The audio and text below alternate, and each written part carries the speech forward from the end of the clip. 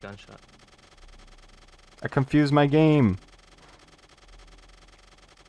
Dude, I just broke Apex, I think.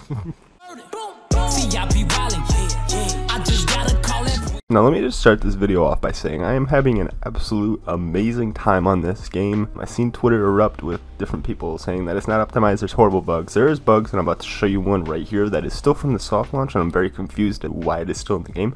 But don't get me wrong, don't get this video confused. I am loving Apex Legends Mobile. I'm just making this video because I want the devs to fix this. I don't know why it's still in the game. As I said, it was in the soft launch, which is a bit confusing as to how it made it into the global launch because this is a huge crack in the map that allows you to fall straight under. Now the beginning of the video was kind of completely separate. That was just a weird little launch bug that happened last night on stream, but um, the, the main point of this video is that the crack in the ground on World's Edge is still there. It is still there from the soft launch. I will leave a link to that video in the description. But yeah, for now I'm gonna leave you with this information. Do with it what you will. Um, but yeah, I will see you guys later. Have a good rest of the day. Drop a like, subscribe if you guys haven't already.